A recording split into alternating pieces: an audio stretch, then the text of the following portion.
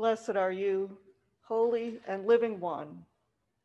You come to your people and set them free.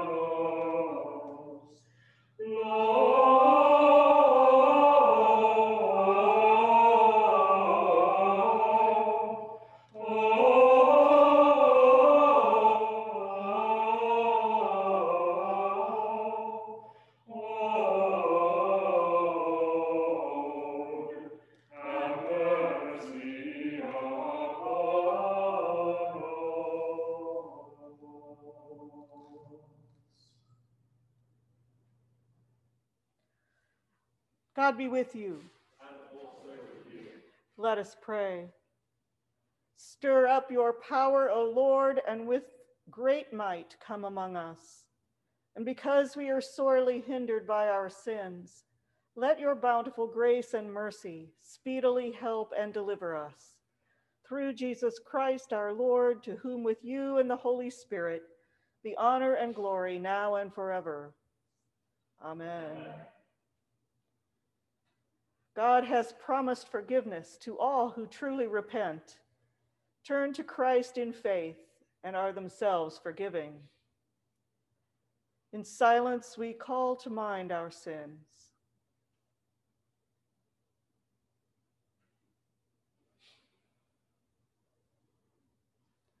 Let us confess our sins. Merciful God, we have sinned in what we have thought and said, in the wrong we have done, and in the good we have not done. We have sinned in ignorance. We have sinned in weakness. We have sinned through our own deliberate fault. We are truly sorry. We repent and turn to you. Forgive us for our Savior's sake and renew our lives to the glory of your name. Amen. Through the cross of Christ, God have mercy on you, pardon you, and set you free. Knowing, know that you are forgiven and be at peace. God strengthen you in all goodness and keep you in life eternal. Amen.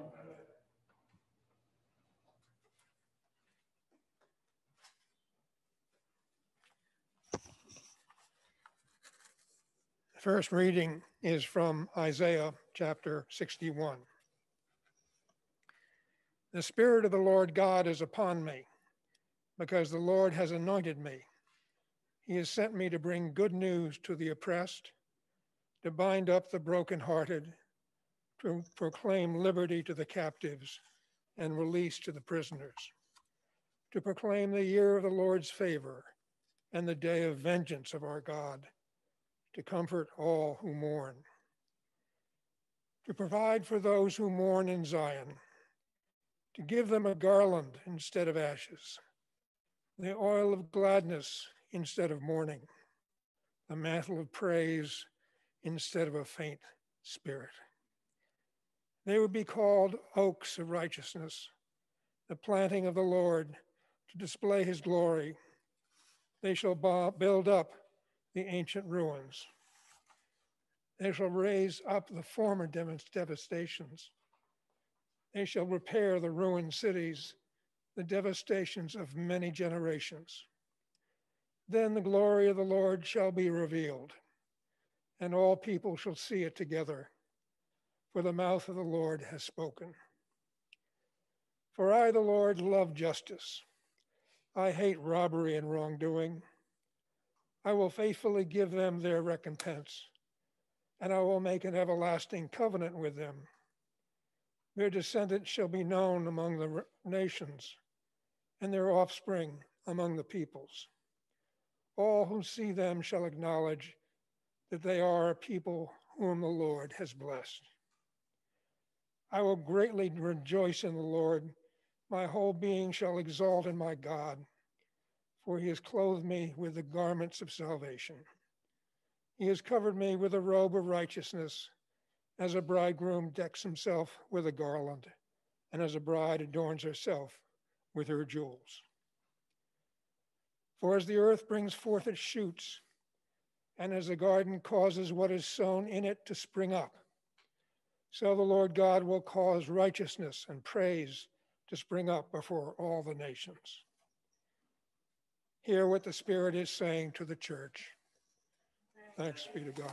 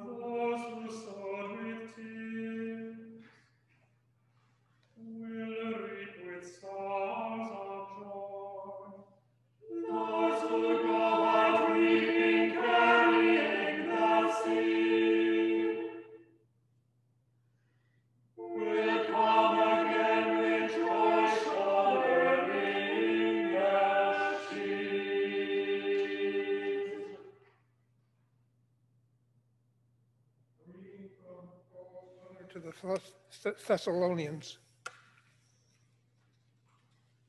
the first letter. Rejoice always, pray without ceasing, give thanks in all circumstances, for this is the will of God in Christ Jesus for you. Do not quench the Spirit. Do not despise the words of prophets, but test everything. Hold fast to what is good abstain from every form of evil. May the God of peace himself sanctify you entirely, and may your spirit and soul and body be kept sound and blameless at the coming of our Lord Jesus Christ.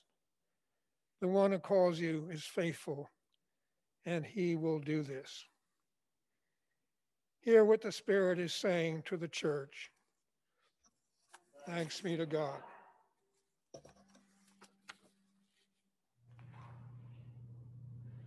Savior.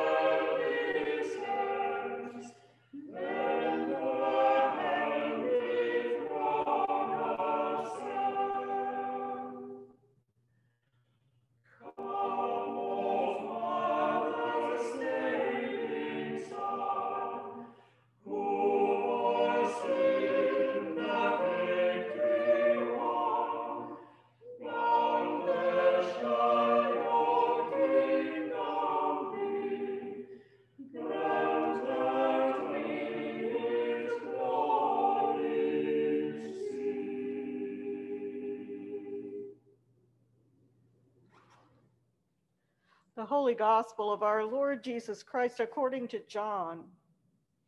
Praise and glory to God.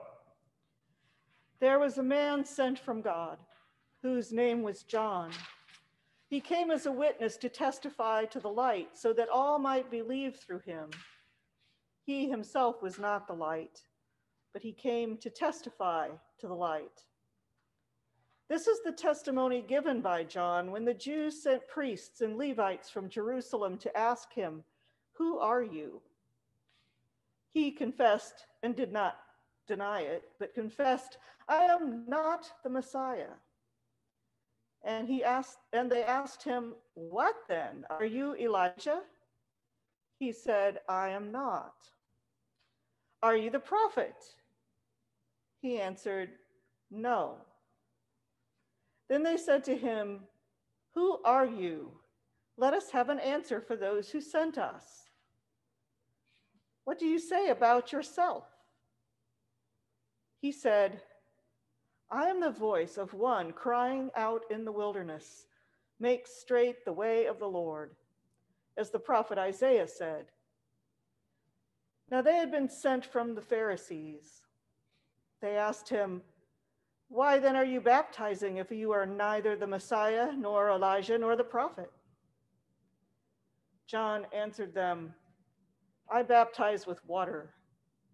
Among you stands one whom you do not know, the one who is coming after me. I'm not worthy to untie the thong of his sandal. This took place in Bethany across the Jordan, where John was baptizing. This is the gospel of Christ.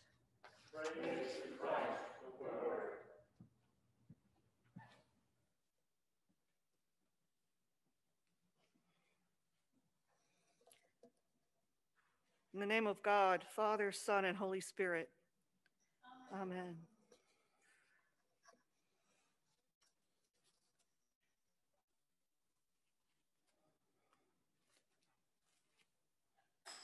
Who are you? When someone asks you that question, how do you answer? How do you finish the sentence, I am? Do you insert your job description? I am a teacher, a nonprofit executive, an attorney, a salesperson, a market analyst.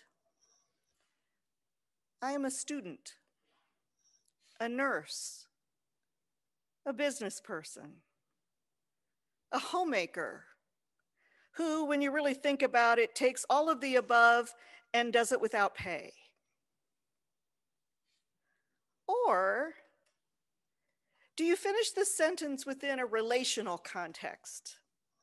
I am a parent, a sibling, a godparent, a child, an uncle or aunt, a grand or great grandparent.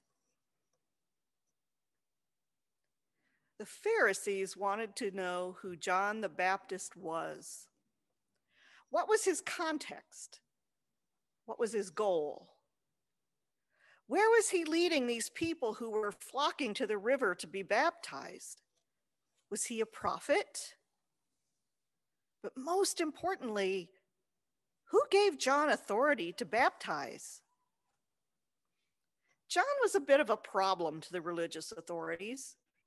Anyone who acts outside one's determined canonical authority always is. Will this activity prove to undo the hierarchy?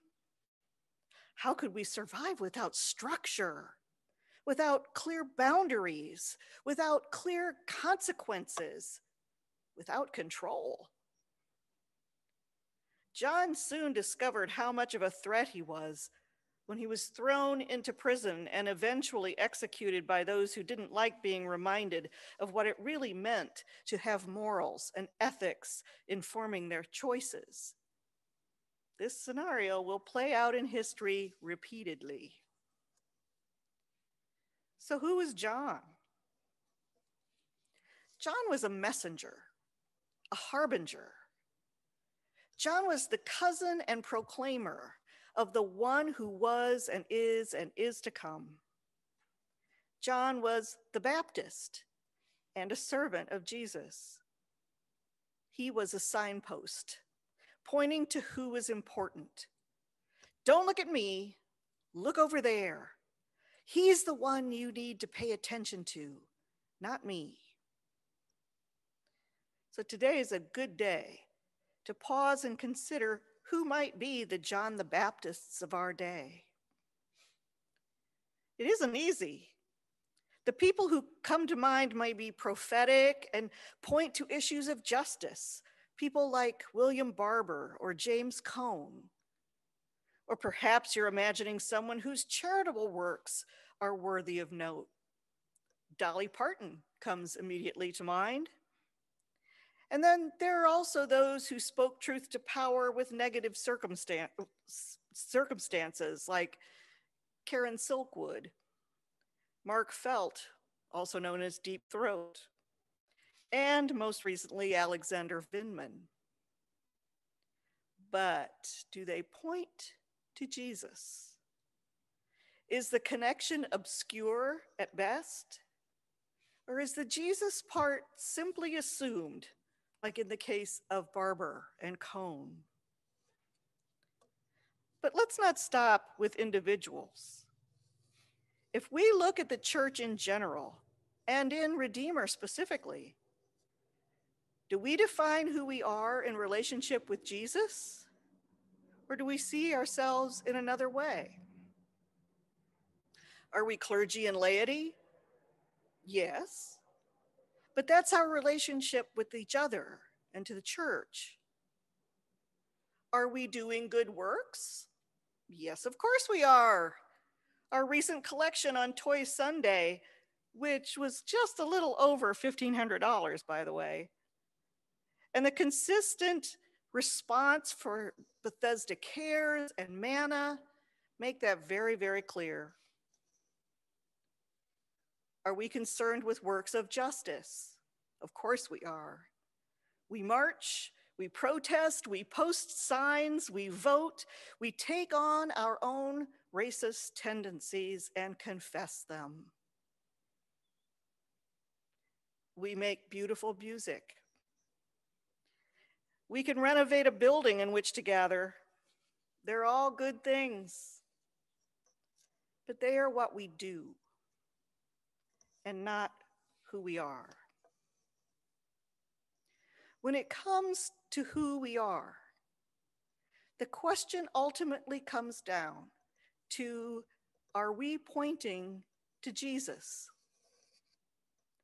If we aren't, then we're a distraction to those seeking a relationship with Christ. In these last two weeks of Advent, I ask that you ponder how we individually and as a community might use John the Baptist as our model and example. How might we emulate John's consistent pointing out to others the way to a relationship with Jesus, his cousin, and our brother? Who are you? Who are we? We are first and foremost children of God. There is no one that you could see on the street, in the workplace, in your home, on the news, on Zoom, that God doesn't love. May we resolve to seek and serve Christ in all persons and love our neighbors as ourselves and let this love show others a path to God. Amen.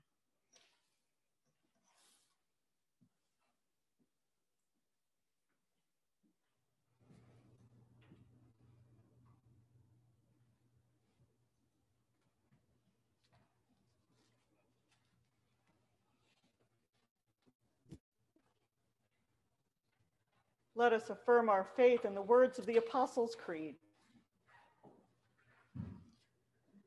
I believe in God, the Father Almighty, creator of heaven and earth. I believe in Jesus Christ, God's His Son, our Lord, who was conceived by the Holy Spirit, born of the Virgin Mary, suffered under Pontius Pilate, was crucified, died, and buried. He descended to the dead. On the third day, he rose again. He ascended into heaven and is seated at the right hand of the Father, and will come again to judge the living and the dead. I believe in the Holy Spirit, the Holy Catholic Church, the communion of saints, the forgiveness of sins, the resurrection of the body, and the life everlasting. Amen.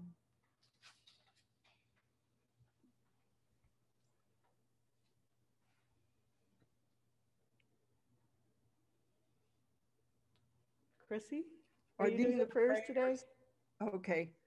Caring God, we thank you for your gifts in creation for our world.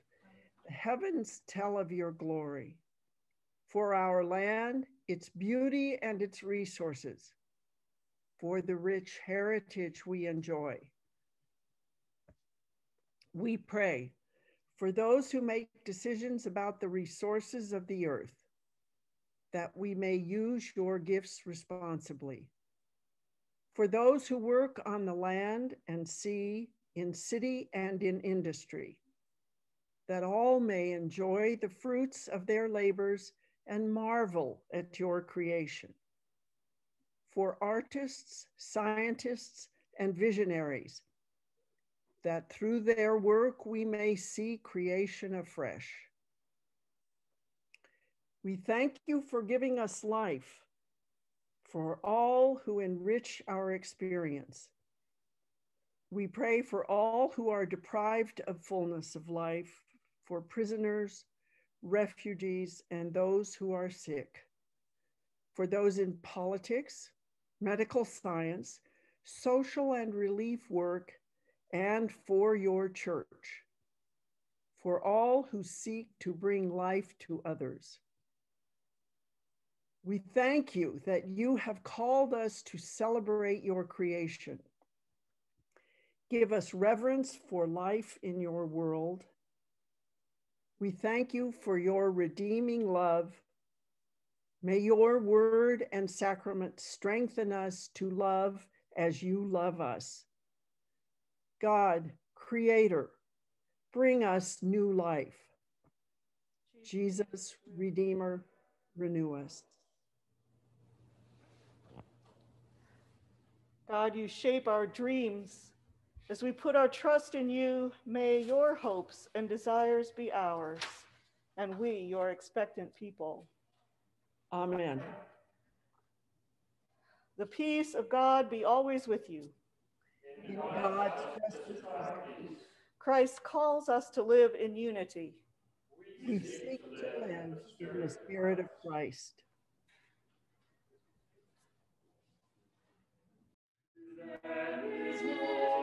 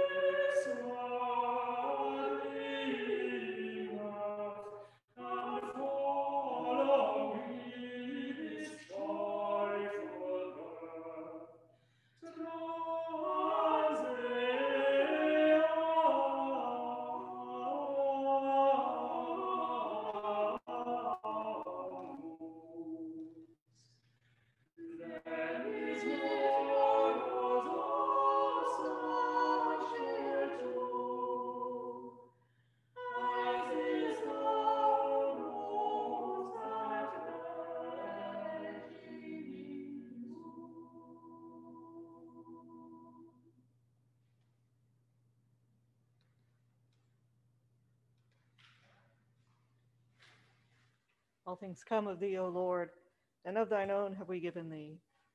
Amen.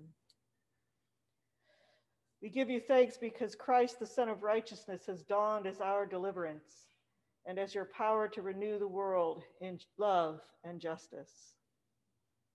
The Spirit of God be with you. And also with you, Lift your hearts to heaven. where Christ in glory reigns. Let us give thanks to God. It is right to offer thanks and praise. It is right indeed to give you thanks, most loving God, through Jesus Christ, our Redeemer, the firstborn from the dead, the pioneer of our salvation, who is with us always, one of us, yet from the heart of God.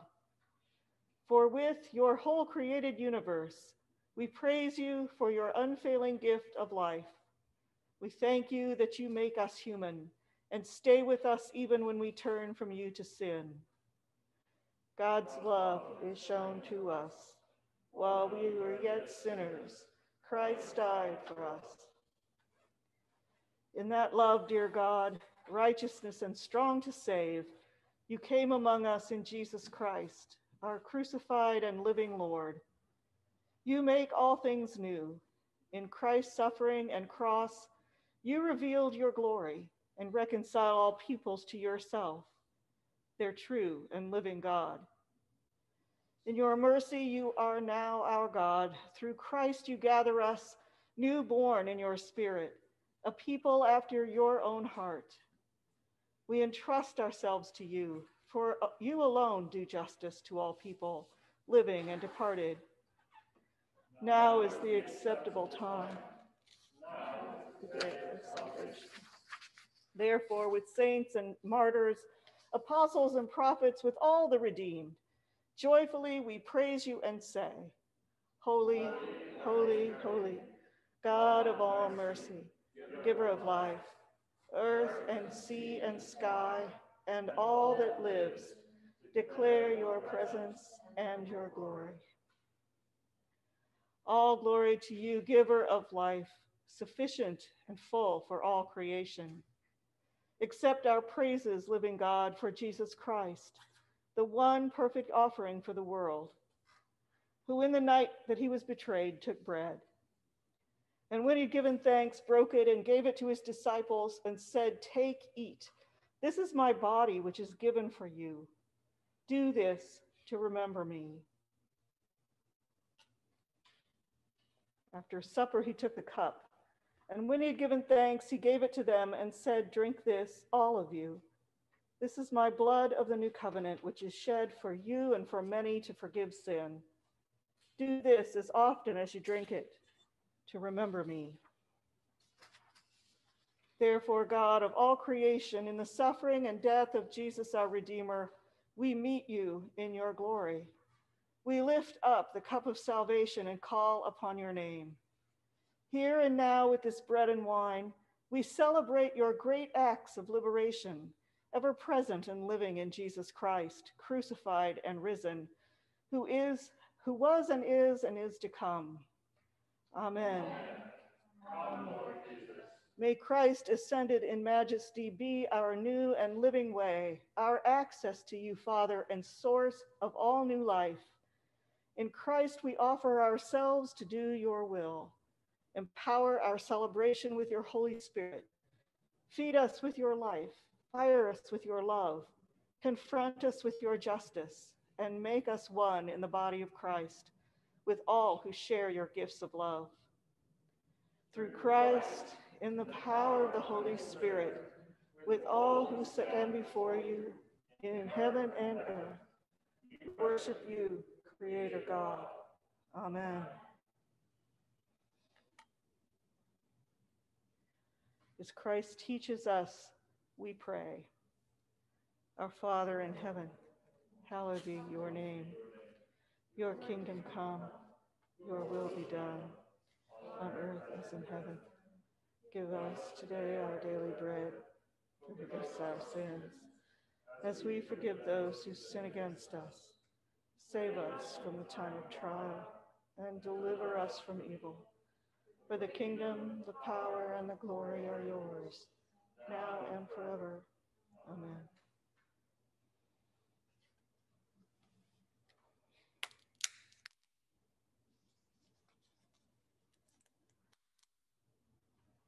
The bread we break is a sharing in the body of Christ.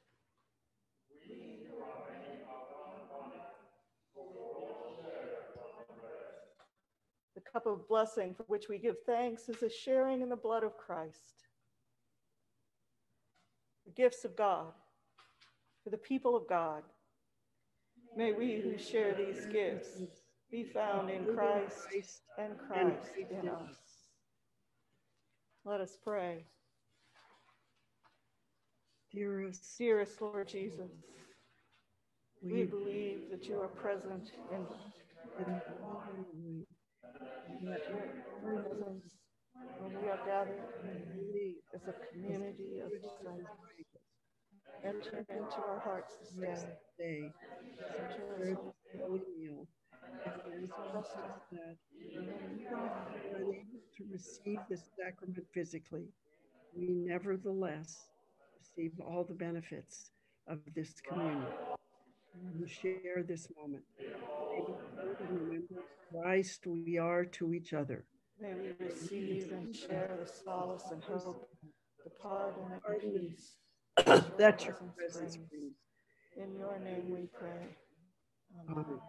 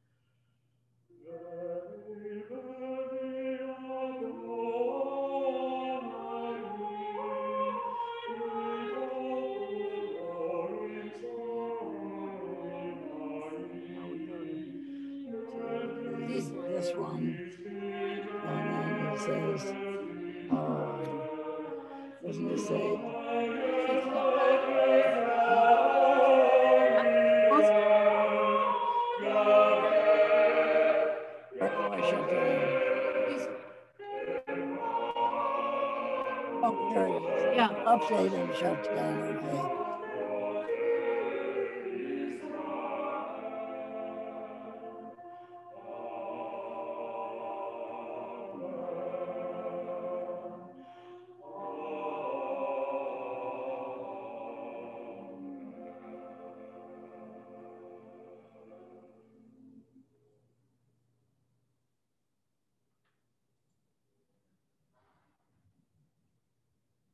Most loving God, Creator and Redeemer, we give you thanks for the foretaste of your glory. Through Christ and with all your saints, we offer ourselves and our lives to your service. Send us out in the power of your Spirit to stand with you in your world. We ask this through Jesus Christ, the servant, our friend, and brother. Amen. Amen.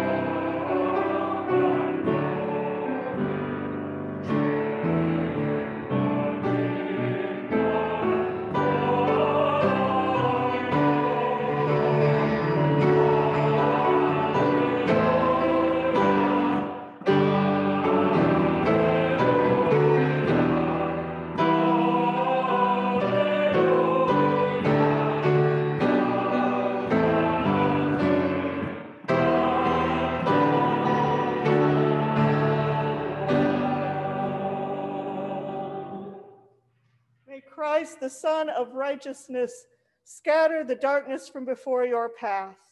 And the blessing of God Almighty, Father, Son, and Holy Spirit be with you this day and remain with you always. Amen. Grace be with you. Go in peace.